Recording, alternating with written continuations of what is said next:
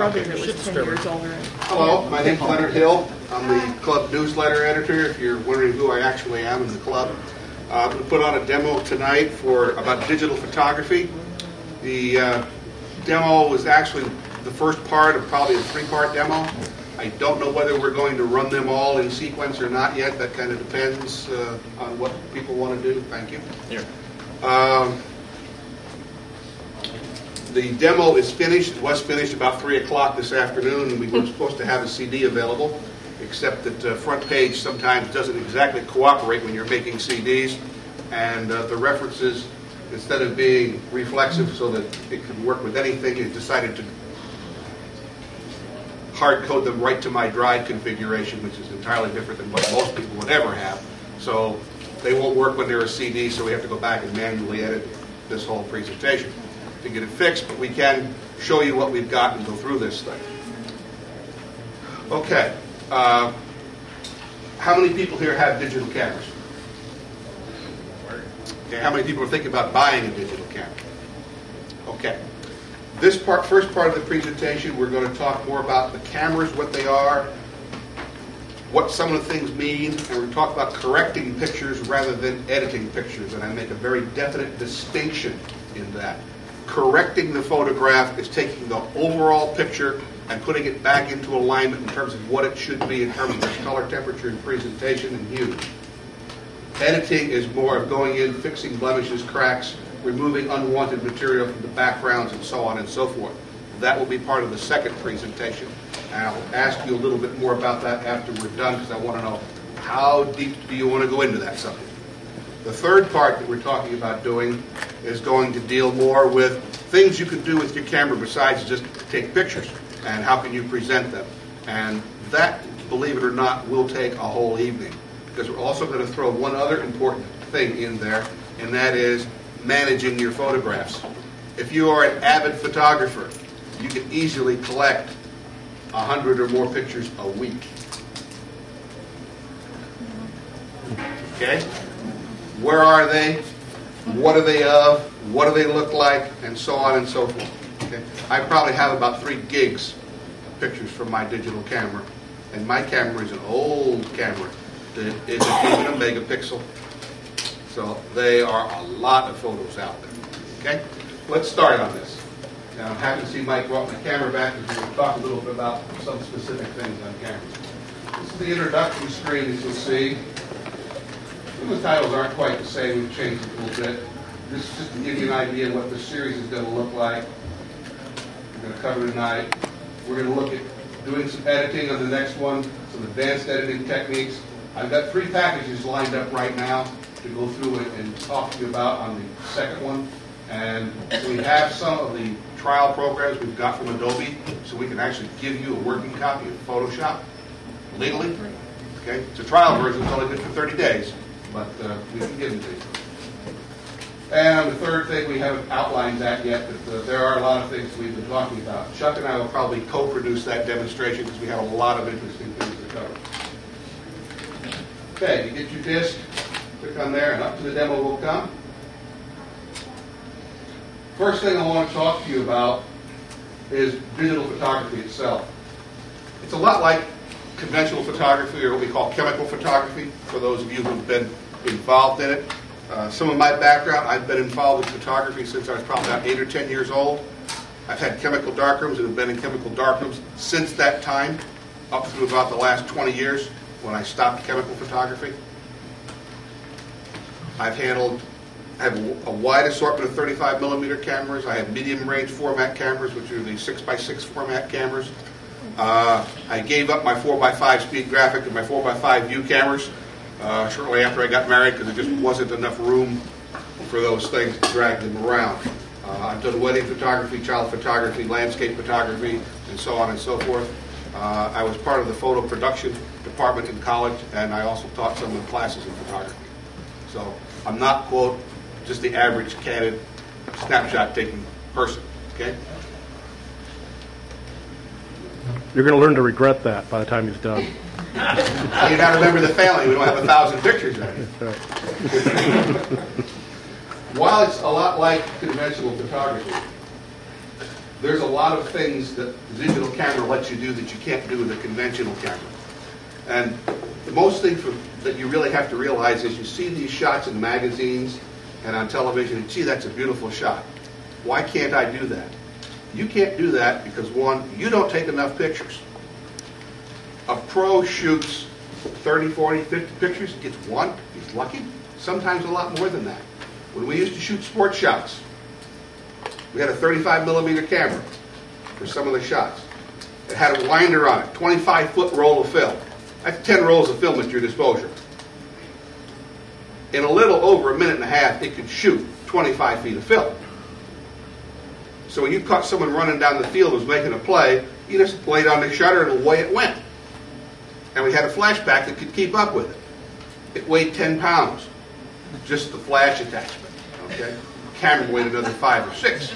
Yeah, you got a good shot. You know. What was the cost? Probably a little bit on the high side, but you know, roll of film at that point in time for 25 foot roll about eight bucks. No big deal. You can't do that. You can't afford to go out and shoot two or three rolls of film and take them off and get them processed. But you can with a digital camera. And that's what you have to do. You have to learn your camera. You have to learn your subjects. Your total cost is some battery cost and some electrons you're going to throw away if you happen to mess up. Okay? You've probably already discovered, if you own a camera, that there's a lot more to just pushing that shutter and taking the picture. In digital photography, you have the best of both worlds, i.e., you can take things and edit them and do what you want with them, but you've also acquired the whole photo processing side of the operation. That used to send off to a lab, and Walmart isn't a custom photo lab, but you'd send them off and they would take care of that problem. Generally, your point and shoot camera pictures with film in them come out better than your digital pictures, right? The reason for that is that lab is actually editing and processing your picture. They are correcting it. There's a lot of latitude in a film camera, two f-stops typically, maybe three. And the lab runs those things through to print. They have chronometers there which balance the color, which change the exposure setting. So if you overexpose it or underexpose it, they automatically correct that with the computer. They go through that machine like that. When I used to work in the lab, it used to take a little longer. When we first started doing color, it was about an hour and a half of print. Now the process is a lot faster and a lot more automated. But when you're doing the digital photography, you're the one who has to do that correction. That's why if the picture doesn't come out well, you either aren't able to get a good picture out of it or you have a lot of work to get a good picture out of it. Okay? So there's a lot more to just pushing that shutter and what that camera does. Let's take a look at some of the terms that we've got in digital photography. The ones that I put here in blue are the ones which have some significance and some importance. I'm not going to run through everything here, but some of them. Aperture priority. You're not going to see this on most of your cameras, but it's a very important feature if you're a medium to high-end user because it will establish whether the size of the lens opening or the shutter is going to take control. If you're taking fast-moving pictures, you want that sequence in there. Otherwise, you're going to get a blur. Artifacting. You're going to see a lot of artifacting tonight, and you probably have a lot of this in your pictures. And what it is, it's just blotchiness that you see in your photos, typically in the dark areas. And we're going to show you what that is and work a little bit on that. Aspherical lenses. Again, you're not going to find this in the low-end cameras. Medium to upper-end cameras, it isn't a feature, it's a characteristic of a lens. And what it means is it's a damn good lens. Autofocusing. You will find that in most all of the digital cameras. They will generally all do some type of autofocusing for you. It could be a real boom, and it could be a real bust, depending on what you're trying to do. CCD, CMOS, these are the types of devices that are picking up your picture. You're only interested in CCD. If you find a camera or even a net cam that's got a CMOS sensor in it, you don't want it. End of the discussion. It's just not going to give you the quality. Color temperature, again, important to know what it is, but not get hung up on it. A lot of you here are old enough to remember we used to have blue flash bulbs, we used to have white flash bulbs. If we used the wrong ones, our pictures came out the wrong color. What we were trying to do is correct for color temperature. If we had outdoor filming When we went indoors, we used blue flash bulbs. If we had indoor film in, we used the white flash bulbs. If we took it outside, the pictures went to hell on us again, okay? Working on the color temperature here. Dots per inch, we're gonna have a whole section on this, and all that is, is how many little dots of color there are in an inch. And it's different for printers, and it's different for cameras, and we're gonna talk about that. Depth of field, an important thing from a photographic standpoint, you need to watch it in your digital camera. What's up close is in focus, what's out back, is that in focus? Sometimes that's a good feature, sometimes that is not a good feature. And can you control that with your camera? You control that through your aperture settings, which is why that was important. A digital zoom. We're not too concerned about digital zoom. All you want to know about, remember about digital zooms is you don't want to pay for them. They don't do anything for you in terms of the quality of your picture. They just put half the number of dots over the same size. So it looks like you're closer, but the picture quality isn't any better than if you just took it regularly and, and blew it up when you made the print. The bad news is, is you can't go backwards from there. So digital zooms aren't too great.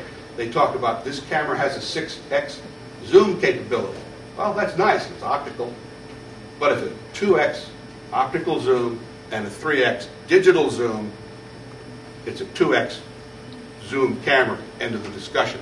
You won't get anything but blotches when you pick up that digital side of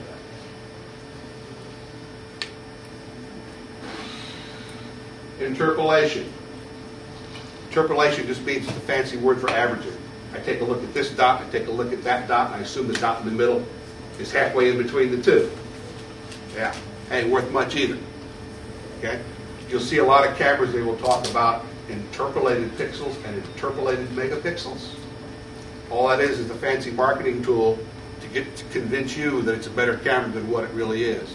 Anytime you see interpolation being offered, you're not interested because it's not real pixels.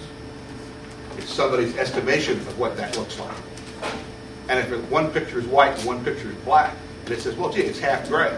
Well, yeah. Is it a shadow, dark gray, or is it light gray? I mean, you know, it's just going to go 50-50 on it. That's the end of it. LCD monitors. That's just a little display that's on the back of the screens. They're very nice to have. You're buying a digital camera, you probably want that. Some of the lower ends don't have it. And if it's just a and shoot that you're going to use very casually, maybe okay. But the real reason for having that is to take a look at your picture and see if it's any good. That way you know whether you need to take another one. Uh, Lens distortion. Again, once you buy your camera, that's what you're stuck with, but this is what we're looking to get rid of, is lens distortion.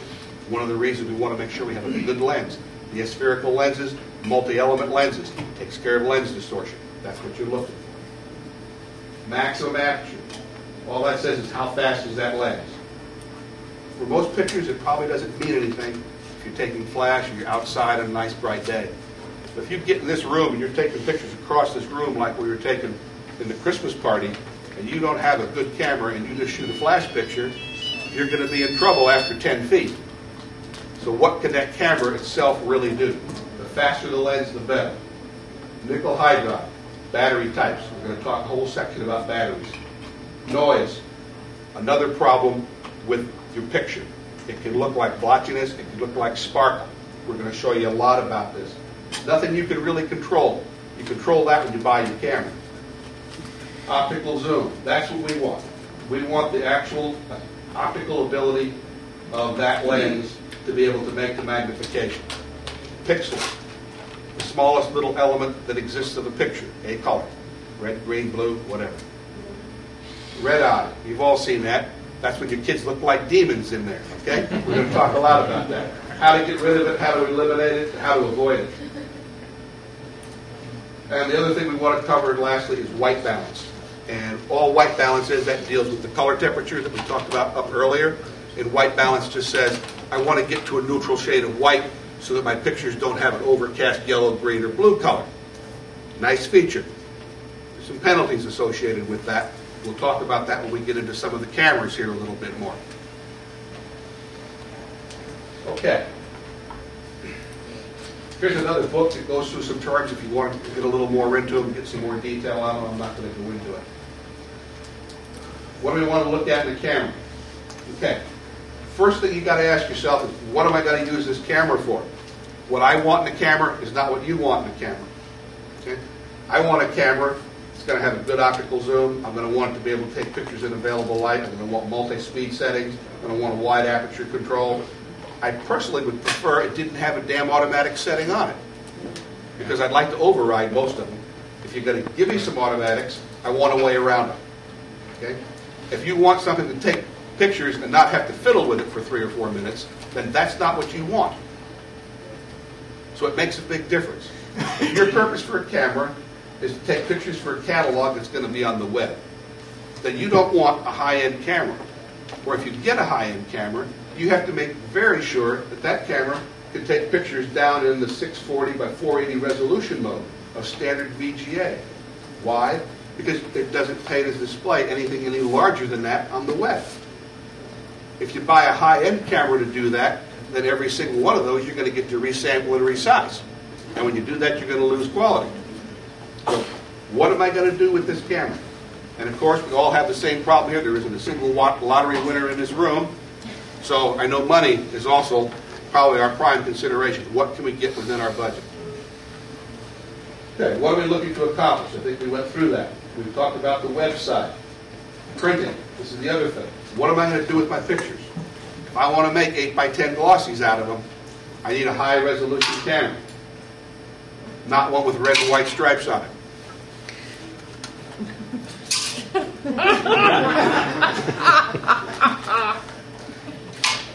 You know, Bill, we don't edit. He's stealing the show, you we, realize uh, it. That we produce, we just let the, everything happen show. I was asking you to stand. Why does it matter? I just They got got- Gerald It's right in the there. middle of the screen I'm doing in. Do I? It's right in the middle of the screen I'm doing in. Oh, gracious. Okay. It's still there, I'm sorry. Well, now he's. What are you gonna take with your pic, how many pictures are you gonna take at a time? If you're planning a long trip or a vacation, digital cameras have a real drawback. With a film camera, it's relatively simple to put another roll of film in. Digital camera, you can put another piece of storage media in, but they're not three and four dollars a roll. So it costs you a lot more bucks, so you need some way to either get it off the camera or some way to change the resolution so you can store more pictures or something like that. Uh, that, how much do you have to spend?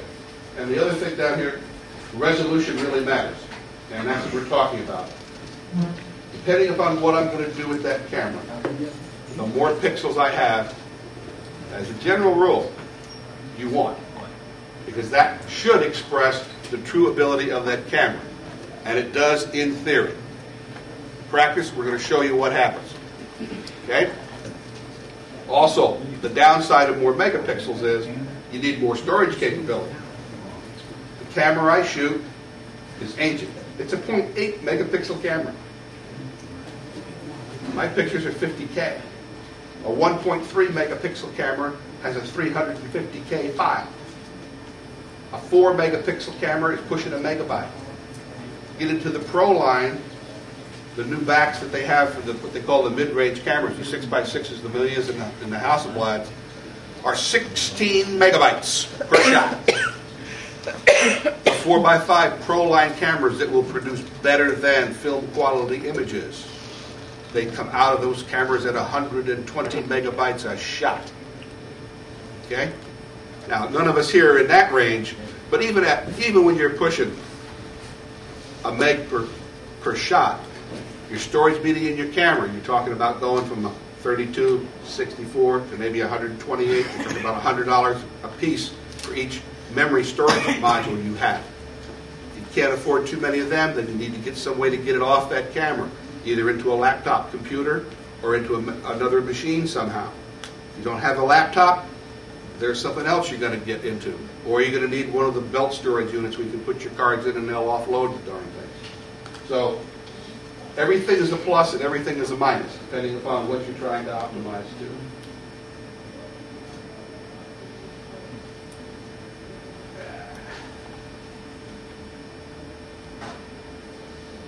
Lens features, we kind of covered most of that. We talked about what the zoom lens is. One thing we didn't cover was the macro lens capability. What you take pictures of kind of determines how good that's going to be and what you need that for. I like to take a lot of pictures of flowers. I'm in two, three inches away, four inches away from my subject with them. I need good, I need a good macro capability in my camera. My camera has a fairly good one. This here is a, a much better camera in terms of its specifications. That's one of the features they left off of this camera. So if you're going to go in and take close-up pictures, it's not going to do it. If you need it, you know, you want it to be there. And it's a little bit more than that. Some cameras can have this feature, but when you go in, it isn't very good. Others, it is, and we'll show you some of that. Software, I'm going to leave that alone. You can read that in here, and you can look at the plugins and all the other kind of good stuff in here. Uh, At some other time, we're going to cover software in a bit, a little bit differently.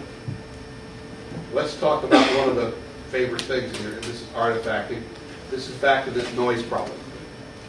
This is what you want to avoid in your pictures and what you want to make sure that your camera avoids.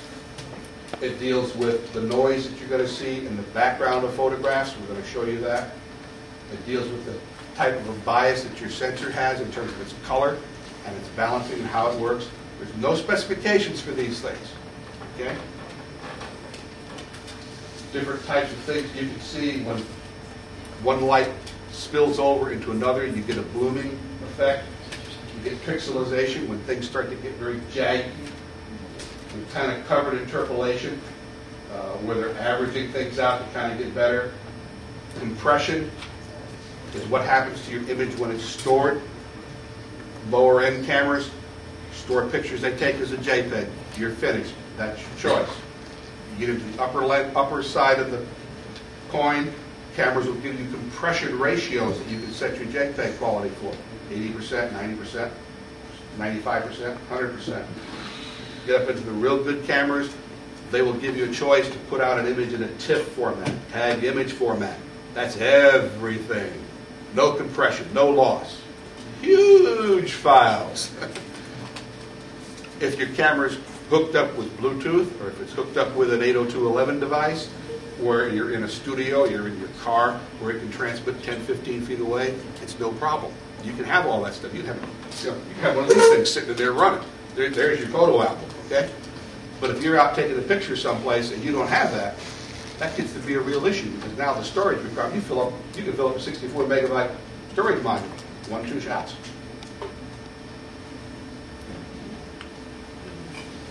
Uh, shaping, unshaping, masking, some of that later.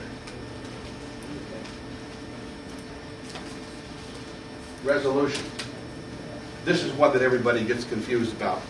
It's bad in cameras, and it's bad, it's worse in scanners.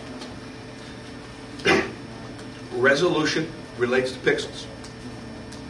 It relates one way in cameras and another way in printers. They are not the same. So when they talk to you about pixels and dots per inch, you got to find out what they're talking about. In a camera, it's a constant.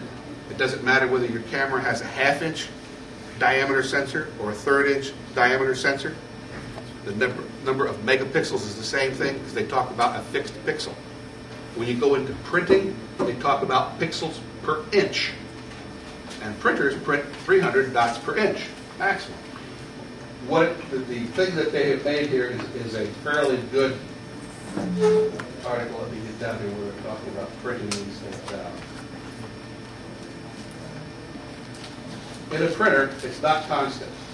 And where this gets be bad is what can you do with what you get? If you have a camera that does 1.8 mex- megapixels and you printed this out on a 4x5 print, it'll look pretty good. If that 4x5 print was actually a piece of rubber, okay, you stretched it out, those pixels get further apart, spread further and further apart. When they get up to the side where that 4x10 is now four times larger and it's an 8x10, that's what your picture is going to look like. So if you print 8 by 10s, your pixels are spread out four times more than what they are on a 4 by 5. So as the print size starts to get larger, you need more megapixels. Now, if you're taking the whole frame, that's one issue. So well, I don't print anything that big, 8 by 10. But if you decided you only want to print a quarter of your frame, because that's where the subject is, and you're going to print it on a four by five, you've accomplished the same thing as taking the full frame and printing it on an eight by 10. So if you don't have the megapixels going in, when you get it over to your printer, you're not going to be able to get them coming out. And that's about all, there's more there, you can read that. Okay. What we did is we took three cameras. This one here is a relatively new camera, it's less than a year old. It's an Argus DC3200, 1.8 megapixel camera. It's got all the basic features that you'd expect to find on a camera. At the back screen, has actually a menuing system that comes up in here, so you can control the camera with the menu. It's real nice. It's got nice, easy-to-use controls. It's got a flash attachment. It's easy to hold. It's easy to shoot one-handed. The specs on this camera look very respectable. This one is a digitized version of the 1958 Brownie box camera. It's got a flash attachment on it. It's pretty well locked in. It's got an f8 lens on it. You can't adjust it. You can't do anything with it. It does have some variable shutter speed on it, so you, you can get a little bit uh, of change there. That's basically what it is. This camera, by the way, has an f2.8 lens on it, very fast lens, and variable shutter hmm. speed. This camera is ancient, 0.8 megapixel camera. It's got controls that are very hard to use. It's very hard to use. I brought my hat here, and you've been wondering why I got this stupid hat sitting here, but there's a reason for it. If I got my hat on, and I take a picture like that, this camera will take my hat. I have a lot of pictures It's about that much of the bill, okay? Would you like a more stylish hat to wear? No, I, I don't think I want you to bill, thank you. It's got the LCD screen on the back, and you can view your pictures with it. You want to set this camera and do anything to it, you have to plug into it and run it over on a special cable into its serial port into a special software. Again, it's an older camera. Okay? Let's take a look at this.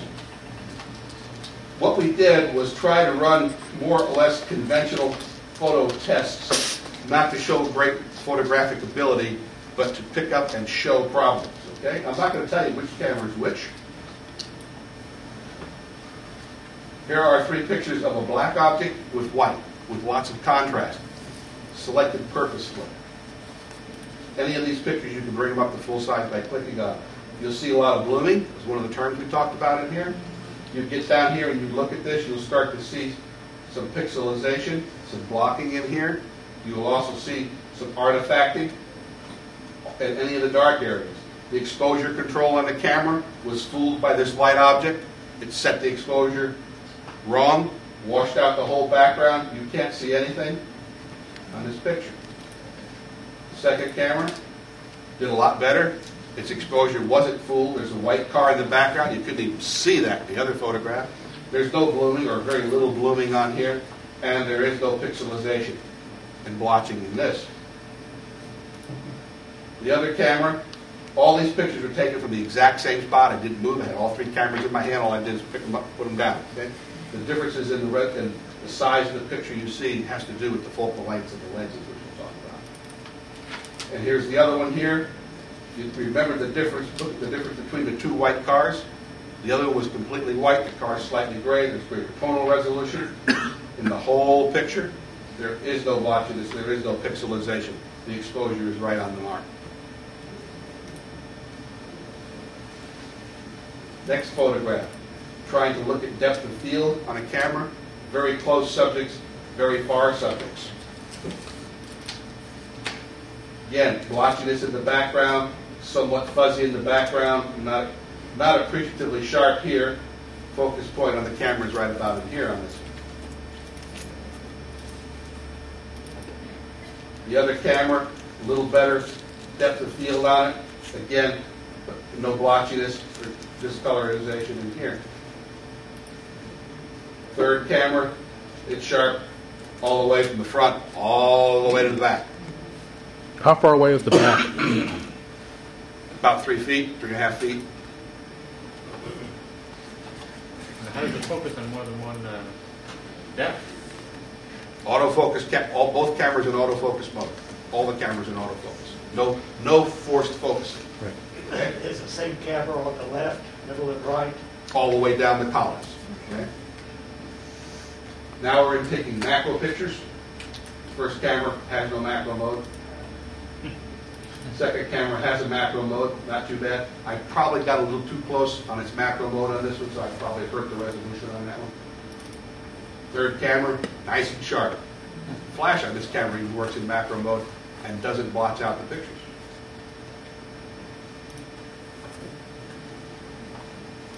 Here's a classic lens test. Doesn't look like much, yeah, I know that. What we're looking for. Color rendition on this is pretty good. The lines in the border of the brick are straight. No lens distortion. That's what the test is meant to show. And the colorization is right. It's not as sharp as it should be. Autofocus cameras have a real problem focusing on something which is multicolored and flat. There's no depth in there. They can't look at it. So we're trying to fool cameras here. Second camera, again, no distortion in the lens, nice and flat. Color, it messed up real bad on. Third camera, color is correct. Look at the brick lines on this one. They're not straight. There's pillowing. Okay? They're bigger in the center than they are off to the edges. And we'll talk about what causes that. Exposure control test. Another one. Doesn't look like much of a test. How well can that camera handle a grayscale, the black and white? This camera obviously got rather fooled by it. It thinks there's a bright spot right. This camera also got fooled and its color is off. The other camera, right on. Dark object at a distance, backlit. Trying to fool the exposure system again. This camera didn't do too bad with it. Let's see if I can make it. There's a bright spot right here, and notice how the leaves have a haloing effect around them? You put this, this picture in reverse image format, there's actually a big old white spot in here from the lens of this camera. This camera, exposed off of the background, can't see the leaves, you can't see the building. This camera, you can see the leaves, you can see the grass, you can see the building. It didn't react to the background photograph, to the background lighting at all. Macro close-up again, trying to show depth of field in a macro mode. It should be very often focused back here, and they are. This was a little better than this one. This one, again, has no macro mode, but it didn't focus very well in the background either. Again, a little closer, same thing. Macro mode's better on this camera. This one's okay, this one doesn't have one. Now, let's come inside and test flash attachments. Very important for most people. One thing you can never find out about a camera is what's the watt seconds of the flash. Watt seconds tells you the power of that flash unit. General rule of thumb, most digital cameras shouldn't work over 10, 12 feet. A lot of them don't work over 6 or 8 feet. This is the one camera. Uh, this one has an f2.8 lens on it, nice and fast. This one has an f8 lens, uh, f6 lens on it. Look at this picture. Know, is there anything even there? There is when you get into it, you get to look. We'll, we'll show you later on. This one, it didn't do that. I'm sorry, this is available light shot. Flash to the next one. This is the available light shot. That's no no illumination, just what's coming into the room. Dark mahogany, red colored uh, entertainment center, black television set, lots of light reflecting over here fool the sensors. Go down and look at the flash side of this thing. This camera dumped all of its light on one side. This one spread it out. This one spread it out to a fairly good distance, approximately 14 feet on this shot. It's hard to see here. It's easier to see on the monitor. There's lots of blue, green, and gray blotchiness all over this photograph. This photograph does not have as much artifacting in it as the other one does, and it's almost visible. And yeah, that ain't too bad of a photograph. You can do a little bit of editing on that one and you can recover that picture. This is just a shot taken in a white room of a black object with a single incandescent light bulb overhead. Not too bad, a little dark, lots of noise in this picture. The other camera, it did a real great job. It, it knows what white balance is, but it doesn't know what a tungsten light is. Now, I'll admit, that is the worst of the three pictures I did take, because I couldn't believe this when it came out of the camera. And this is the other camera over here. Pretty decent picture. Kick the flash on on the same test, that's not too bad of a shot. Again, color balance is off on that one, and that's the actual colors of what's there. That is a bright orange, a bright yellowish flashlight light, that's the color is right. Uh, before you guys think you need a fancy lab to do all this and special software, in case you couldn't guess, these are pictures from around my dad's house. Okay? So It's just- it's just taking the same shot with three different cameras each time. You don't need to have a special lab, special color wheels, or anything fancy to do this. You can do it yourself. You just need to what take the pictures of. Okay? Flat objects with no reflection. Objects with lines on them. High contrast objects, black and white, backlit pictures. Those are the things which are going to separate the good cameras from the bad cameras. What are the cameras? Well, the one with the best features all around took the worst pictures. And we're going to show you how bad some of those pictures were when we get into the next section. The second oldest camera with the least amount of features did the second best. And the oldest one with the worst set of features you can find took the best pictures. Now, there's two reasons. It's actually a better camera. Two, I'm very familiar with it and I know how to use that camera. And that's what using your camera and taking pictures, a lot of pictures, is all about. Okay? It also didn't have so many features that it didn't confuse itself. Well, I I don't care who you are and how well you know the Argus camera, you ain't going to take a good picture with that thing. I, I get confused with my camera. I'll show you some of the things. I, I didn't find the photo I wanted here, but I have focus control on my camera. Are you getting commission off of these tonight? I beg your pardon? Are you getting commission off of these tonight? No. Uh, And I blew a real great photograph. although tips are out in the appreciated. barn, 'cause I I confused my exposure lock with my focus lock. There you go. Picture of a, ho- of a sledgehammer sitting on its, on the head. It's just, that much of it's just covered with ladybugs, solid. It's a real nice and good light coming right in through a door, perfect exposure.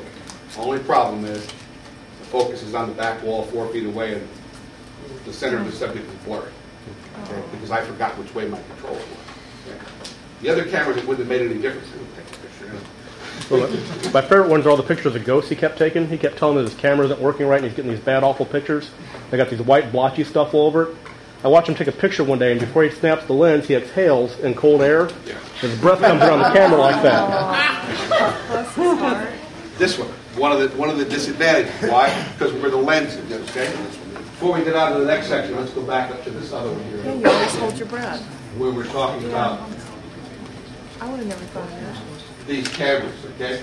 You notice the one camera takes pictures further away, look like they're further away. This camera, the reason its flash works so well when you're taking pictures of people, it's got an extremely wide angle lens on it. This thing has the equivalent of a 30 millimeter lens that would be on a 35 millimeter camera. The normal wide angle lens for a 35 millimeter camera is 35 millimeter. So this thing is great for taking indoor pictures because it covers a lot of room. If you want to take a picture of scenery or something you can't get too close to, and I got a picture of a lizard here I can show you, he wouldn't, he wouldn't cooperate at all. It's just a little tiny spot, because you can't get close enough to anything with this thing. Okay? So that's a, that's a good feature. But you get the, the ghosts that he's talking about, you get the hat, okay? You gotta, you gotta know. These cat, this one's got the widest, the longest focal length lens of all. Its equivalent is 46 millimeter uh, on a 35 format. Normal 35 format rates anywhere between 50 and 55 millimeters, most of them about 52. So this is fairly close to what a 35 millimeter does. This one does a little bit different here. I think this one comes out, I figured it out, it's around 40, around 40 millimeter. So that's why this camera takes pictures further away, okay? And it- it has some advantage, it has some disadvantage. What are you going to use the camera for? And I can't afford one with a big zoom lens and interchangeable lenses to fit on these things like you can for the 35s. Uh, Nikon is the only manufacturer who's making a camera body with a digital back that will take your Nikon bayonet lenses at one and a half times the magnification of the lens. The back of the camera start at a thousand bucks. Okay? But you know, if you're serious and that's what you want, you know, that's what you've got to go for. Okay, batteries. These things consume batteries with a wild abandonment. When I was shooting a lot, I could consume two sets of batteries a week. I switched over to NiCads because they were rechargeable and they worked real well. You're going to do a lot of shooting, carry an extra set of batteries. It doesn't hurt to have a set of, of regular plain old alkaline batteries along with you. They always work. If you're going to take a lot of pictures with this thing, you really need to go buy some metal, some nickel metal hydride batteries. It's really the only way to go. It costs you about 20 bucks per set of four with a charger. You'll pay for that in four or five sets of batteries. The metal hydride batteries have a real good feature, and that is, once you get these things conditioned, you can just charge them when you need to, and they work. The old nickel cad batteries like I had, you had to make sure they were dead, dead when you recharged them. If you didn't, they built up memory, and then it would only be good for half or a quarter, and they eventually got to the point where you couldn't get enough charge in them hard to take a picture with. Also, if you're going to take a lot of pictures, turn the flash off, particularly if your camera can take good available light shots. The flash unit kills batteries quicker than anything else does in the camera. Okay? If your camera doesn't take standard batteries and it takes a proprietary battery, good camera to avoid, because you're going to be stuck buying those proprietary batteries from that manufacturer. Uh. Taking better photos. Several things here, I'm not going to go through them all in great detail, but I do want to really harp on that first one, because this is what you really need to do. Get your manual out and read it. It's the best tool that you have for learning how to take digital pictures. What can your camera do? This is the one for the Olympus camera. It's nice, it comes in three languages, you can't find half of what you want in it, which is what the problem is. Camera manuals are even worse than computer manuals, if that's possible, but they have managed. This is up in the very front part of the book on the manual. It's an extremely important picture. You wouldn't know it to recognize it here. They don't tell you that it is. But what's important are these little lines here. And no place in this manual are they really talked about, which is absolutely amazing. The first one here are the focus control lines in this camera. The vertical lines are the exposure control lines. So I can control what that camera does. You saw no problem with backlit pictures. Why? I made sure those vertical lines was down on the right spot of the picture when I took it. If I wanted to focus it on a specific area, I would set these on it, push the shutter down halfway and hold it, and it's locked. That's what I should have done when I took the picture of the thing. I should have locked that exposure there. I did. I locked it this way instead of that way, and I blew my picture. These are my top window that tells me all the things the camera can do. It's got buttons so darn close together and so much information up in that window, you don't have a clue what this thing is doing. And if you've got big fingers, you can't get them. It's hard to use.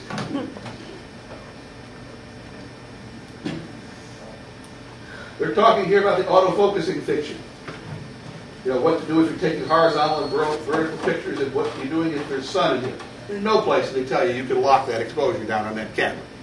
That focus down. Yeah, wonderful. Here's the section on exposure compensation. They tell you that you can bump this thing up and down a half a stop. Half a stop in photography is a waste of time. Moves a full stop, it moves it all. It's great. You can do all this and play around with it. But they don't tell you that I can walk up to you, put that camera up to your face, press that thing down halfway, lock the focus and the exposure on her, step back here and take a picture. I don't care if she's backlit or what. The exposure is going to be off of her face, which is what you want to do. They don't tell you that. The only reference to where you can find out something about this is buried down in here where they talk about the backlight correction marks in the camera.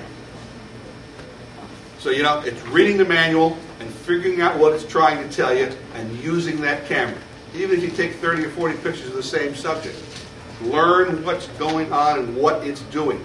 If it's got any kind of control on it whatsoever. Very, very important. And incidentally, here's the only place where you'll ever find anything about what the flash attachment will do. Only place in the manual. Okay, we can go through some of these tips here. Uh, These are specific things dealing with various different types of subjects. I'm just going to cover a couple of them. We'll hit the 10 main tips. Ah, I see we got a picture problem. Some more editing. Move in close. Get as close as you can. Fill your frame up. Digital cameras undershoot. Viewfinder's undershoot, the camera's overshoot. What that means is the viewfinder shows you less than what's actually there to make sure that you get your picture. All cameras do that because they don't want you to miss anything. My Olympus undershoots about 25%. Wow. Yeah, way, way too much. 10% is a lot better. So you, if I got a picture of four people, I only need to get three of them in the viewfinder. I know I got the fourth one. That's how bad off the camera is. Yeah. Pardon I have one that see it the viewfinder, but it's in the pictures. I have one that does the opposite. That's not desirable. Because that means you miss things. It, it sees more than that, the viewfinder sees more than you ever will in the picture. There's the other What side. kind is that? Argus, We're- We're getting a trend here, aren't Yes, we? it is. Funny thing is, Argus was a very good camera manufacturer in the 50s and 60s. Uh, made excellent 35 millimeter cameras, took great pictures. What happened? Who owns them now? Who knows? do you remember, do you remember when Harley Davidson became part of, uh, uh, the bowling people, pin people maker? Same sort of situation. Yeah. We talk about using a tripod, anticipate the moment. When is the actual picture going to take place? If it's something you're following an action picture, you pan the camera and press the button. Works real good with the Argus camera, works real good with the box camera. Don't try it with my camera. Why? My camera likes white balance. It takes two pictures. It takes a white balance to make sure it's got it right. Then it takes the picture. I have no idea when that thing's going to go off. It just has to. Okay? Makes, it makes any type of action photography almost impossible with that camera. It Takes good pictures. What are its limits? Okay? White balance could be a very good thing. I don't get a lot of pictures that are off color if I'm within the range of the camera. I don't have the photos on here. White balance can be a very bad thing. If the hue or the saturation is important to the composition of the subject. Set the scene. We're up at Pere Marquette Park. We're walking through the woods on one of the ridge trails. Pictures of some logs that were laid down and were in heavy forest overcast cover. We had a definite yellow-green cast to the light with the green moss that made the picture. What did my camera do? White balance, no problem. What's it look like? Nothing that we saw. I mean, the color balance is right, but the picture's no good. We had another picture. Uh, we were in a very yellow atmosphere, almost the color of that marker there with the leaves underneath the canopy, shooting the log cabin out there. Said white balance. Picture looks great. It's not the picture we saw. The mood was set by that yellow tone, and it just took it all out of there. So, it's good and it's bad. No way to turn it off. Unfortunately, or it would have been off. Using the meter, using your monitor, look through your monitor if you got a particular problem or you've got time to take that picture. If you're close on framing, look at your monitor. Don't work with your viewfinder. If you're working in close, again, might work a lot better with your viewfinder. Because one of the problems when you get into macro mode is which way am I on this picture? This way? That way? Up? Down? Makes a big difference in that thing. Looking through here, I know which way I am because the focus gets more critical as you get in close. Your depth of field, how far it sees, the closer you are, gets less. The wider open your lens is, the less your depth of field becomes. That's conventional photography. That's not digital photography. Yeah, shoot first and erase later. Very, very, very good rule of thumb. Okay? It doesn't cost you much to take digital pictures. Just keep taking them. If you're short on storage space, weed out the ones you want, or go to another mode. My camera will take 120 pictures on an 8 meg card. If I'm shooting 640 by 480, it shoots 40 pictures at uh, 128 by 768, whatever it is. Okay? Keep it on low mode, get the shot you want, kick it, kick it into the high quality mode, take the picture. So I can get a lot of pictures on that little flash card that way. But save the Monica Lewinsky. Hmm? I said, but save the Monica Lewinsky shot. Okay, I'm not going to bore you with flowers. Open shade is an interesting area of taking pictures. This is one that most amateurs avoid or don't recognize the potential of it. Taking pictures outside of people is very difficult. If you get them in the morning sun, with the sun behind your back, there's a lot of glare on their face. You can't wash that out with a flash attachment, a fill flash. If you get them turned sideways, they got shadows across their face. If you turn them around backwards, their faces in shadow and your camera's fooled by the exposure. Go over to the north side of the big building, underneath the big tree. You got plenty of light, take your picture, it mutes out all the tones, turn your flash attachment on. Because that way you'll control the direction of the light, it'll highlight their facial tones and features, and you get a good picture. So, oh, so working in shade, working in shadow is very good. With any type of point and shoot camera, make absolutely sure that you don't get too much background light coming through it unless your camera has some way, spot, what we call spot meter focus, where you can lock it on that person's face.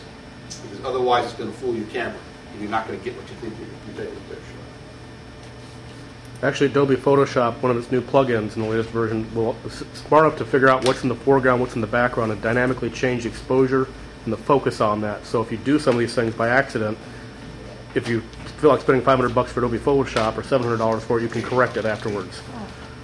And three or four hours learning how to Yeah. use it. Much cheaper, to, much cheaper to learn how to do it to, right to start with. the demon seed picture, we've all seen these, right? I'll let you go through this. Red eye is very difficult to control with these cameras, and it don't matter which one of these I picked up, they all got the same problem. The problem is, the closer this is to the axle of the lens, the worse the red eye problem is going to become. If you've seen professional cameras, they've always got a separate flash attachment, or they got the flash attachment over to the side and up high. No red eye. The red comes from your retina your eye. The cam, the flash is going in and bouncing off of that. The camera lens is in line with that, it picks that up. If your camera has red eye reduction, that helps. What does it do? It fools your eye. It takes two pictures. Okay? Flashes, it takes one picture, it takes two flashes. Shoots the flash the first time, your eye says, whoops, that's a lot of light. Dial, takes your pupils down in size, that way I can't see back into your eye as well. It, then it flashes again, takes the picture. You don't have a good flash attachment, it loses part of the power on the first shot, and you don't have as much for the second shot. So if it's a distance shot, you don't get a good picture. But that's one way around the picture. The other way is to have your subject not look directly into the lens of the camera, look a little below it or a little off to the side of it. You overdo that, the pictures don't look. But this will go through and talk to you about how you can work on this and reduce it to some of the things that you can go through and take care of this properly, okay? Uh-huh. Again, much better to try to eliminate it than try to fix it, although most of the software packages are pretty good at fixing red eye. That's one thing they do seem to have down pretty good. If you want to go into something here and take a look, I have the part of the ZETV's Do photo book and CD on here that they have out on their website. You can go out and look at take you through on how to take pictures of sunsets, and we'll come down and show you some more on this later. Okay. Let's talk about making pictures now. We've talked about taking pictures. That's the first part. Making pictures. This is what we used to do in the darkroom. Turn out the lights, turn on the red lights. And we started to improve pictures. We could print pictures, that was fine. We got a battle, we could burn it in, we could dodge it, we could give it more light, less light, we could control the exposure on the paper, we could control how long we developed it. If we had polycontrast paper, we could determine the hardness of the image or the softness of the image to take care of overexposed and underexposed pictures. We were doing color, we had wheels, we could slide in to change the color balance of the things and all that stuff. The good news now is you guys are the color labs. Okay? That job's all yours with a digital camera. Okay? Always better to take a good picture than it is to try to make a good picture. Even in the dark room when we had really bad pictures, we had really bad pictures when we were done. They were just better bad pictures. You're never going to make a good picture, a bad picture, a good picture. It just doesn't work that way. Comparative results. Let's see what we've done here. We took a bad picture and we played around with it in a whole bunch of software packages. Okay? This is a shot on the second floor of a building. It's about 250, 300 feet long. It's taken at night. The lights are mercury vapor lights, so we got a bad color correction problem. Up at the top, yeah, you got a flash attachment, remember it's good for 10 feet, and that ain't much good. Dark gray floors, and that's the picture. I played with this picture in almost every package you can think of, and I played with it for several years trying to get a decent shot out of it. It's a good, bad picture to work with. Okay. Photo Deluxe, this is the Adobe Simple package. There it is loaded into it. This is the application with the autocorrect feature. Better, not not great, still muddy, still blotchy, no shadow detail down here. This is gray, this is not blue. This is yellow, not green.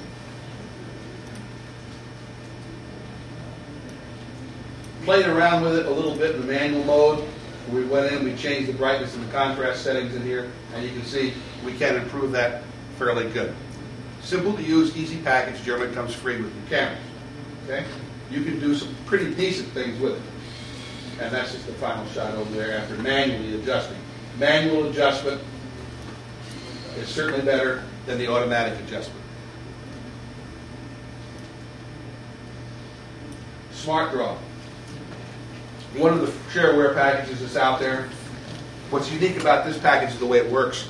You click on something it gives you a nine square patch to play with. Then you pick what's good, what's bad, it kind of moves you through it, so it's relatively simple to work with. My scanner program works like this. I like it very well, and it works very well for my scanner program. It doesn't work very well, unfortunately, on very bad pictures. Okay? Another program, IrfanView, iView is the original program name. It has a nice feature when it comes up. We're going to show you this program in great detail. Uh, gives you this, you can enhance it, you can move these slider bars down here, you can adjust the contrast. And that's what we did here. This is neutral. We've increased the brightness on this one, we've increased the contrast, and we've dumped the gamma setting, which is the ratio of red, green, and blue, trying to improve it. And that's the best we got out of it. Again, manually adjusting, it's not very good in terms of overall quality. We did pick up some shadow detail down in here. Yeah, those chairs are that stupid color, but we still have a gray tone to them. Chair. What does that gamma? Gamma affects the overall ratio of the red, green, and blue of the picture. And we get down to the Photoshop one, I'll very, very easily be able to show you the effects of that. Here are two other packages. One is Microsoft's Photo Editor in manual mode. Uh, where we, that's the best we can do with it. And, you know, it ain't any better than the cheap package was, it's for free. And here is a program called iCorrect, uh, one that I use. It has some nice features in it. You have side-by-side view. You can select black points and white points and kind of mess around with it without getting into a lot of detail. Again, not real great either. Pull out the big daddy here. Here's Photoshop 7. This is the one that everybody says is the absolute best. Yeah. Uh, it is an 8. There's a picture loaded. This is the result of its best automatic correction features that Photoshop has to offer. Probably the worst of the $29 packages in auto mode. Okay? Let's start playing with it in manual mode. Okay. I played with this just to do this demo about 30 minutes to get this far with this picture. Okay? And I have a s- relatively good idea what I'm doing in Photoshop, doing these kinds of things. The learning curve on Photoshop is like climbing, Mount Everest. Very hard to use package. It has wonderful help screens. It just missed a few points. They never tell you where to start. So you never can find out where the hell you're supposed to start on the menus to get down to where they're talking about. Okay? So it makes it a little difficult. Also, the, the terminology that's used is not very good and hard to follow. Here we changed the hues, we messed around with the hues. The hue control. Notice we were able to get this more to a blue-gray and this more to a natural color than what we could with the other packages. The other good thing about Photoshop is, if you learn is, you do one thing and you think it would kept, keep that image and then you could move on to the next, right? No. You got to save it. Saving a picture in Photoshop's six to eight clicks. Then you get the, sometimes you even have to load it back in again and then come at it into the other shot.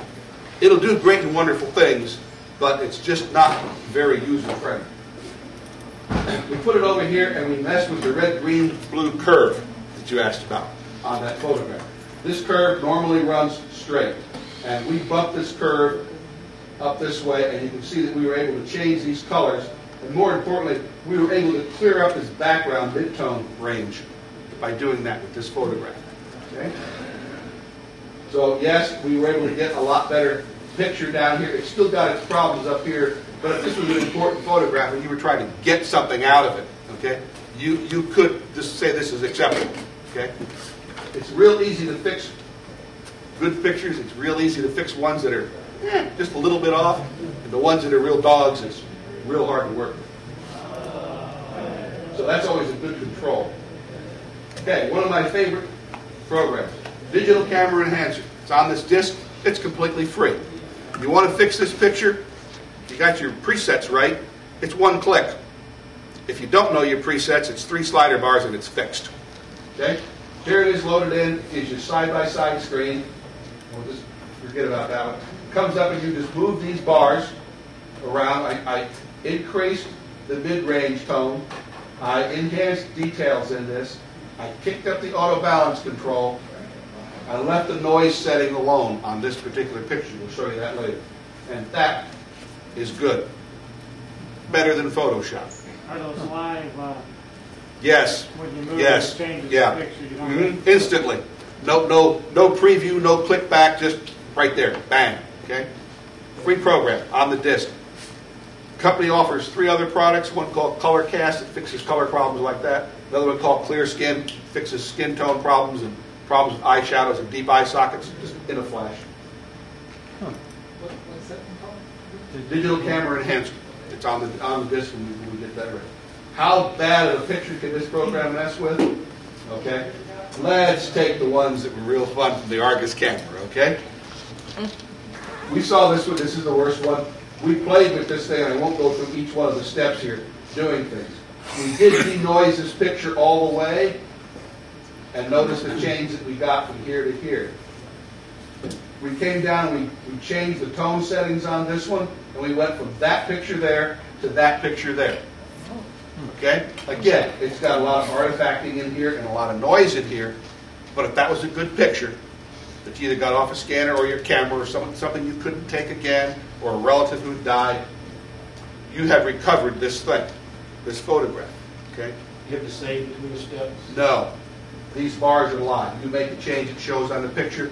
You save this by clicking on the save screen. We have a detailed step-by-step tutorial on this. Okay? The only thing I want to really drive home out of all of this thing is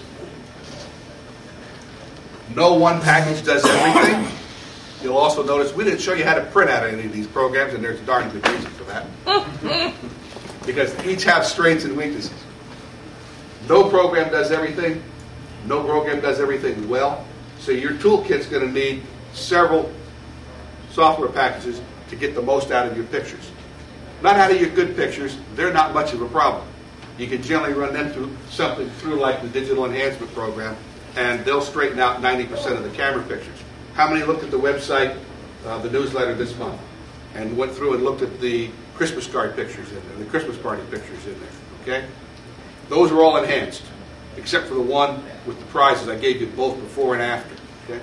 Each one of those was bumped a little bit to make those pictures good. Very simple. Just I ran, they ran through iCorrect, and iCorrect has a batch feature. You just turn it loose and just go, gives you. Finished. Okay? The pay version of Digital Enhancer does that too.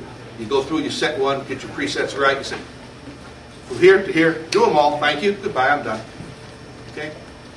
You can do that with Photoshop too. See, you get the files, you identify what you want done, you write a script file, and you execute it. Another hour and a half or two.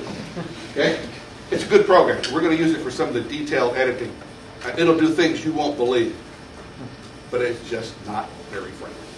I'll give you a, a trick that I use because I'm a horrible photographer and I have almost no eye for color, as my dad can well testify. The Argus camera looks good to me. um, one, of the, one of the tricks I do if I'm taking a picture, especially an indoor picture where I have issues with white balance, is I'll take a just a cheap paper plate, the cheapest paper plate I can buy, right? have a whole stack in the, in the, in the closet, and I'll put it somewhere down in the frame, away from what I really want to take the picture of.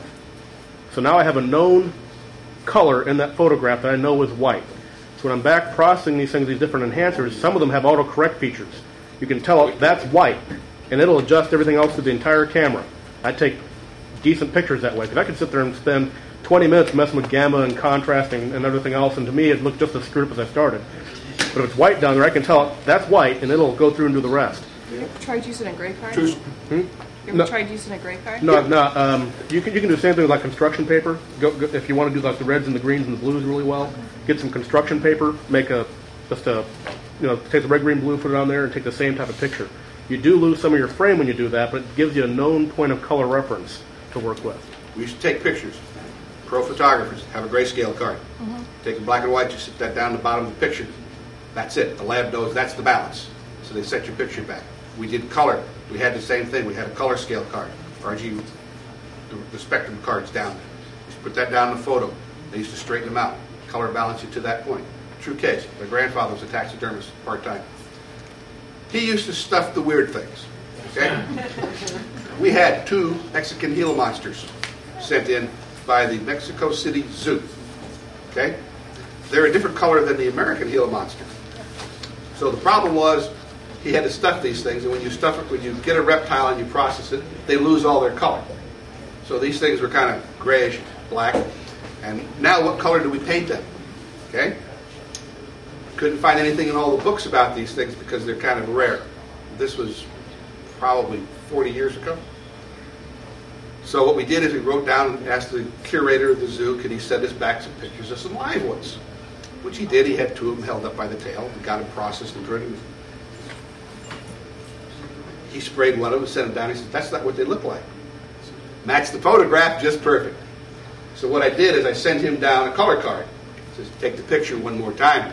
Put the color card in the picture. Hold it in one hand, a lizard in the other hand, right? Got him back, sent him into a custom lab. Says, here you go. Right on. Okay? Pros use those tools. You don't know what the reference is. I can tell you it's green. I can tell you it's light green. You know, I can tell you it's a specific color of green.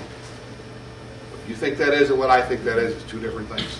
The neat part of the color wheel, when you print when you print that out on your printer, your printer adds another layer of distortion to that whole color scheme. So if you print the color wheel out with the photo, hold your color wheel up next to it, and you can go, aha, this green is not right. It looks right on the screen, but it's not right on the printer. You can go back and adjust that again to make up for it. Last time I looked at the color card, you could buy one for about 250 bucks. Walmart, pack of color construction paper. Yeah. Just don't send them out commercial. Right. Two programs we want to kind of run through here at some degree of uh, speed for you, and a little bit on printing, and then we'll come back to what we got. JPEG with the digital picture. Well, I mean, it. One of my favorite programs Picture and text. is IrfanView. It's on here. We use it all the time. We use it for everything, and this is probably the little program you're ever going to get for free. It's been on all of our utility disks.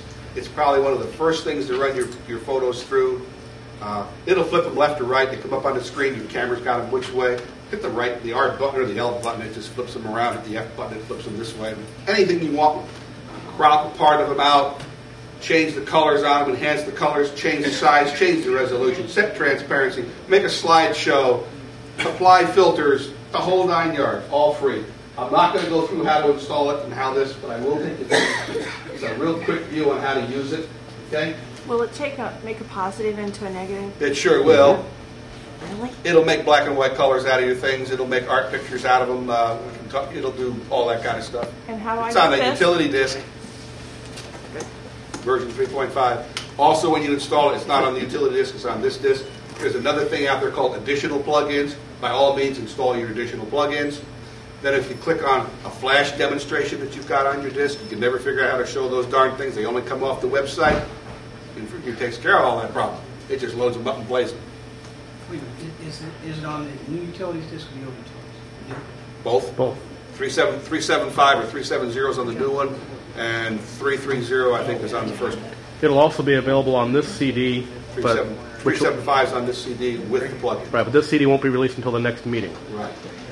Okay, you pop on it, of the icon, it comes up here, you click on the file, on this little thing over here, it gives you a drop-down menu where you can pick your pictures, go pick your picture, and you start to pick your pictures in here with a single click. It shows them to you down here as a preview, so you can find where they are. Click on or click open, pops up your, your photograph over here. You can then start applying things to your to your photograph. You can, I don't know what I did here first, I kind of lost track, okay. What we did is we opened up the enhancer, we clicked on image over here, we came down, and there's a thing here called enhance, we clicked on enhance, it pops up this screen here. You got the slider bars down here, and you can start playing with this image. To the, you can play with them any way you want, and it's instantaneous. Always move them to the maximum so you know what you're doing. You can see what, what it really does to the picture. And this is where we move the gamma, the red-green ratio all the way over. We moved it all the way the opposite way. Before coming to a point where we liked it, Instead of setting it 1.0, we set it at 0.74. And we went through, and we said, okay, we want to save it, you we do is save, or you apply it to the whole image, and give you the whole image in the background, instead of just your little picture. You can come back and you can play with it some more, you can adjust the brightness, the contrast. You can also manually adjust each of the individual levels. The nice part about this program is it doesn't save anything. When it does do the save, it'll always ask you if you want to replace the picture which is there or if you want to rename it. So you don't have to worry about overwriting your, your photographs. Photoshop doesn't give you a warning. Digital enhanced. No, this one here is uh, IrfanView. Okay? Digital Enhancer is the next one. They work similar, but this one has a lot more uh, range. Get your picture, you can come in, you can crop your picture, draw it any way you want. You can cut that down, you can apply filters to it. Here we did a, a negative on the Thank color you. that you're talking about. Okay? You see my demo? Uh, I can't do all these things. Here we went through and we applied a, a filter called Sharpen. Most of the programs have it. Sharpen essentially comes in and does an interpolation on your picture and, and gets out some of the pixel range, brings them down so there's more contrast between the pixels so it makes it look sharper to the eye. Word of warning, only sharpen a picture one time.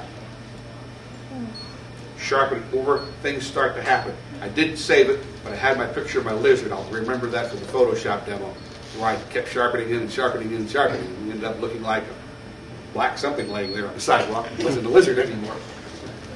Okay? Uh, more capabilities within this program. Uh, we did a crop. You can come through you can change the palette. You can change the individual ratios on things. You can go black or white. You can open up a whole range of filters, plugins and filters, regular filters. You can go through and you can apply those filters like we're doing here, one at a time. You can you get the disc to look at that in more detail. Do it. Do anything you want to do with that picture. And you can print it, you can make a slideshow out of it, you can do, you see where mine is, real handy. I'm sorry, I believe we had a question from back here. It'll, Oh, well, he'd have to go back. it'll make thumbnails, Sorry. it'll do slideshows. It has a batch feature where you can process a whole bunch of files at one time once you get one set, real nice. It'll do your acquiring, you can tell it what Twain source you want to come from, you want to come from your camera, you want to come from your scanner, select it, it'll bring in files. You don't need to load up all your camera software and all that other neatsy stuff. Uh, it's, it's just got so many features that it's just, you know, and it's free. It's probably one of the best free pieces of software I have seen. And it doesn't crash unless you feed it a 20 megapixel photo. It doesn't matter. It will take tens. Remember the big banner that we had, the old banners that we had? That's a 10 megabyte pixel. We worked on it in this one, straighten out the colors. Okay? It wouldn't take this one. One nice thing with the batch feature, you can do batch resize. I tend to take all my pictures at their maximum resolution. Well, that makes really big files, but I'm going to keep them that way on my hard drive because I want to have them for posterity. Well, all my friends that want me to email them to them, you know, the party we had last week, mm. they don't want these huge files. In fact, when you send them to them, they complain they can't see everything because, you know, someone's eyeball is this big on their email and they don't understand you can zoom that down. Or it won't fit through your email because it's a 5 meg limit. Right. So I always take my stuff through iView on a batch resize and chop it down to 640 by 480 or 375 by 352, some standard size like that. 72 DPI resolution. Yes, right. So they don't get the all right. They don't get the whole image, but they didn't really care. You know, they, they can see the can of Bud Light in their hand as well as you know on, on full size or a small size. And now the images are a lot smaller, so I'll just go through a bat, do a batch process, stick them in their own in their own directory, which iView will let you do. Zip that directory and email it to them. Say, here are the pictures from the party last night, and now it's a half a meg file instead of a 20 meg file. And that's part of presentation number three. Okay.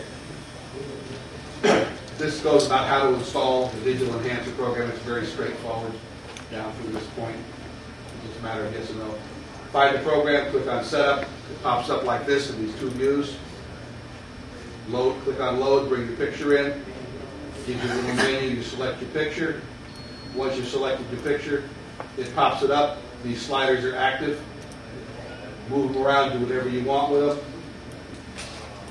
When you get to the point where you're going to click on the Save button up here, gives you this menu over here, so you can name it or rename it or change it whatever you want. Put your name down here. When you click on Save, it brings up this screen over here, another screen where it lets you change the resolution. So that if you want, can reduce the resolution, the size of the image, and then there's your finished picture. And it's just that fast and easy. So why am I paying the school all that money to teach me the other? Because you'll be able to do a whole heck of a lot more with Photoshop.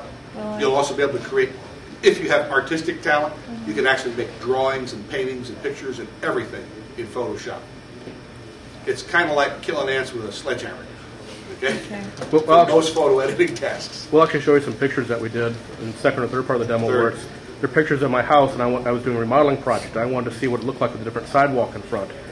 At the t- I took a picture of the house without the sidewalk. The whole sidewalk is ripped out. There's shovels all over the place. There's construction debris all over there. And I have a picture that I just took, basically a Photoshop-like program, and added a sidewalk with the appropriate concrete tone to it and everything with that. And How you'll about learn- a deck that was built before the picture, before the, and sent into the, for the building permits of the finished project, before we had even torn down the old That would have taken a lot less time than me drawing it all up, wouldn't it? Especially by me, 'cause I hand? can't draw a straight line. Yeah. Okay, but I Well, actually have a picture of the deck Nobody that's done. can without a ruler. Well, see, and that's there, there's some, like programs like Photoshop. You know how to picture the house at an angle. Right. Well, that means the deck had to be orthoscopic in there, right? Perspective Yeah. drawing. Yeah, So I snapped a exactly. line along the siding of the house, Yeah. extended out to make the deck, right? So I could draw the deck within that frame and get the scale right for the perspective Mm-hmm. drawing. Photoshop lets you do things like that. Okay. It also lets you do things like these, these red eye corrections and other things like that. But again, it's you know atomic weaponry for ants. Leonard, you said something about the plugins for Yeah. View. It- Can you it's get them ju- from the main site or? No, they'll come right off our disk here, or you can get them from their site too. It's a little hard to find it, it's down towards the bottom. Oh, It's just one okay. little file you load, and it loads a bunch of other plugins to let it work with different formats. The best thing it lets it do with it, it actually lets it play flash automations. Had- You saw the Christmas disc, we had these Yeah. Christmas cards. Some of them worked automatically, mm-hmm. because they were in flash. I have save- Flash already. Okay, So I don't. Okay, so you save them as a projector, then it's a standalone program. But if they don't save it as a projector, they save it as a protected file, that is an FWS extension, and nothing will read it, nothing will edit it. So if I got them on my drive, and they, the nice part is when you play Flash Automation from the website, they put them on your hard drive and they remain there forever. And some of those things are 15, 16 megabytes, okay? So you can load up a hard drive, and you can't, you don't know what they are, you can't get rid of them, you can't use them. Well, with this tool, you go click on them, and it'll tell you what they are. It'll play them. You can see them.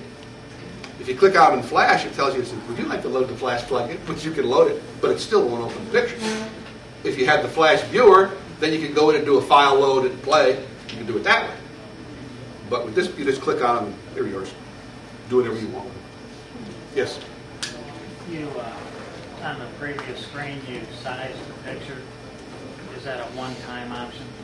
I No. was in a different program, No. and I sized my picture and saved it. Then I needed to make it smaller to post it on the internet.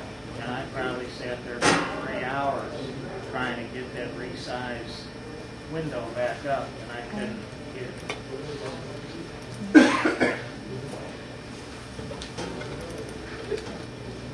Let's take that, let's do a resize. Nice part on this is, this is what our size is here. We can keep the aspect ratio of the picture, let's take that and make that 320. It automatically changes the next size for us. There's our picture, we can save that. So you've gotta go in somewhere else. You don't get that one screen that you get. No, it's on a different feature. I can save this. If I want, I can come back and I can say, okay, let's resize this again. We're gonna make this into a thumbnail. And 125. I finally was able to get that screen, but I could never get that one where it asked you, do you want to resize? I mean, it's, it's just that quick with that program to do those kinds of things. I make a lot of thumbnail tables. You see them, you see them in all these presentations. That's a program called Thumbs Plus, which we'll show you later, that does all this stuff. If you miss one, there's no way in Thumbs Plus to add one. You get to go back and go through their eight or nine step menu build program again. What do I do? I just click on the thing, say add another column. I pop up. I say, I know what size my thumbnail was. Take this picture, make a thumbnail out of it, name it for the thumbnail, pop it in there, do the manual link, and I'm done. Rather than running back through, deleting all the thumbnail files, deleting the index files, rebuild the whole thing over again with one or two pictures added. It's just a fast, easy, simple way to do it. Uh, printing. You can print out an IU. Uh, it's a good program. Most photo printing problems or software problems are If you just want to print one picture, it's not too bad. Then you end up with these nice 8 by 10 sheets of paper that cost you 50 cents. and You got all jiggy jaggies cut out of them, and now what do I do with the rest of this? And I sure don't want to throw it away, right?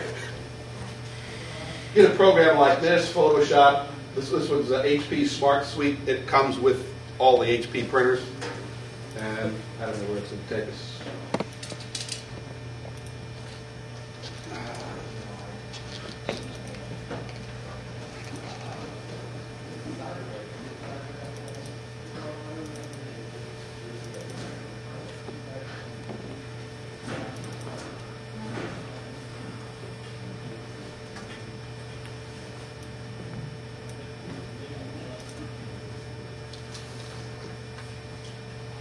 Do you think it's a good idea to have a photo printer? Separate from a regular printer. Yeah. If you're very serious about it, yes, and I'll tell you why. The best photo printer in the consumer market is Epson printers. Epson printers do a very good job on making photographs. They can't print on regular paper worth a damn. They saturate the paper, they drown the paper, uh, it bleeds through, they're just horrible. HP's do a much better job on that, and most all the other printers do too.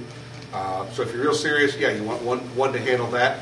Uh, Personally, I I work with just the HP and don't worry about it, I've had both printers. My latest thought, I was all geared up to buy a photo printer, and what scares me is the expense of the print cartridges. What brand printer are you looking at? I've looked at several in HP, I think, and, uh, Whatever you do, stay away from Lexmark. I mean, they're, they're nice, cheap printers, but you'll you'll go bankrupt buying print. ink for it. The last revelation I had, I don't know how intelligent it was, but uh, I checked into putting your uh, photo on a floppy. You can take it and get it printed for twenty cents a piece. Mhm. And I had to print a whole lot of photos for it. Three hundred bucks. Yeah, the, the only problem with that is you're relying on whoever does that printout for you to, to spot the spot the color corrections and what things that need to be fixed. And as you'll see, when you print something, it doesn't always look like what you get on the screen. The colors tend to get shifted slightly. So you can give that guy, you know, your disc and 20 cents, and he comes back and, this is what I have on the screen. You go back home, adjust it, give it to him again, and well, it's a little closer. You go back home, you adjust it, and you know, you're going to burn up a lot more of the gas going to and from the guy in frustration. So. So they don't do as good a job with digital as they do with the film. No, again, they have the same issues when they go to print them out. They they're not doing. It's not a film process. It's not a chemical process of development. It's a, an inking process, just like you have at home. They, they just happen to have a bigger printer, and you could argue uh, maybe a little more accurate printer, but it's still the same process you go through with your home machine. Okay. This program, you can bring up a bunch of pictures, you can manage your pictures, and what you can do is you can fill up a whole sheet. Varies in so many different ways, gives you the ability to do this thing. You also have some resizing ability in here when you pick your options, and once you get something loaded, uh, and you, you put your pictures into it, you know, one, two of that one, no particular problem. When you can manage an album, and you can just do a straight print, there's another feature in here, where is it? Where it'll let you do some, some basic uh, slider type editing on here, generally brightness and contrast and color controls. But it's a real nice, simple, easy way to print pictures and, and make more than one. You just got to make one, you, know, you can print out almost anything will work relatively well. You got to make lots of one print, or you want to maximize your paper, you need to get a printing program. Okay? And that's kind of the point I want to make out of that. Okay, again, for you also prints, uh, put a file in it. You want to do a print, file, print, you can, you can edit. Nice choices that let you have a, a selection of printers, and you know, I have a rather wide selection of printers available to me. Then it comes up, and I can change my side, I can change the fit, I can change what I want, I can customize it, I can flip it, I can put it landscape, or I can put it portrait, I can do anything I want with it. It's nice for one. Got a bunch to print? No, it's not two. Are you going to cover archival inks and archival papers and things like that in Three. the next dem- demo three? Demo three. Okay. Since we're running a little short on time here, I'm just going to tell you these other links and things are down here, you can go off and check these things out on your own. That's all I'm going to say about them. I'm also going to say that Windows XP has some built-in features that are in X, in XP that you can use yourself. There's also a bunch of enhancements out on the Windows site out there for frames and downloads and other software, and updates the media player and so on, and that's all downloaded and on the CD. And that's all available from there. What I want to cover is what's on. This program here is not on here, it's the new Adobe Photo Album. Adobe is taking Photoshop 7 and making a consumer version out of it, and has promised that it's going to be easy to use. All of the reviews I've read on it say this is going to be great. It's supposed to be out next month, and hopefully we will have a copy we can demo to see whether it is. Adobe Photo Deluxe, we've talked about that, that's out here, it's kind of what came, came with free cameras, we've talked about that one. We've showed you Digital Enhancer, showed you the kinds of things that it's capable of doing. You want more about the free version, you click here, you want to find out about the pay version. There's their pay version and what it does, I think this is a whole whopping twenty to thirty bucks if I remember. Right, it's not too terribly expensive. Uh, the other thing I want to show you is, and this is on the disc, is the free version of their Clear Skin program out here that will clarify things and straighten things up. Where they're showing you well it can go in and what it's capable of doing in terms of straightening out blemishes and clearing up problems. Their Color Fast program is great. Some cameras do not do a good balance. Canon has a particular problem. Uh, my camera likes to overexpose pictures a little bit, so they, they come up a little bit dark uh, on it. I need to bump them about 20%, which is why I adjust. But this is what color cast can do. If your camera produces, constantly produces things with a blue, red, green, or a cast in one thing, you set the defaults on and you just run through that program, and it just straightens them out. Buy the pay version, and you can give them the whole damn directory, and it'll straighten them all out in one shot. HP Photo Smart, we just showed you. Photo Plus is an interesting little program. It's more geared to, towards the web developer, uh, but it has the abilities to make changes, and it's real nice, easy to use. Uh, free version is on this disk. We'll go through and talk about what it's capable of doing. It Works nice on retouching and restoring things. Okay. Image Expert is another program. The trial version is on here. Smart Draw is on here. I wasn't overly impressed with its program when I went and used it. But what's nice about it is they have a real nice little demo, a little, uh, it's a text HTML-based presentation on editing photos and how to do it, which you'll see in the next presentation. We've been through the IrfanView program, so we won't go through that. And lastly, a whole series of programs on iCorrect and what iCorrect is capable of doing. And they, these are their free versions of their programs. These are all time limited. iCorrect works the same way as the uh, others do. It's uh, on. These are the tools which I routinely have available to use. You notice there was more than one. It comes up, gives you some help screens to load a picture, you get the left and the right. The nice thing about it is, Chuck was talking about the paper plate. I can come in here and say, okay, this is white. I come over to my picture and I click on this is white. I can select five white points, five black points. It's a balance this picture according to what I've told you. Okay?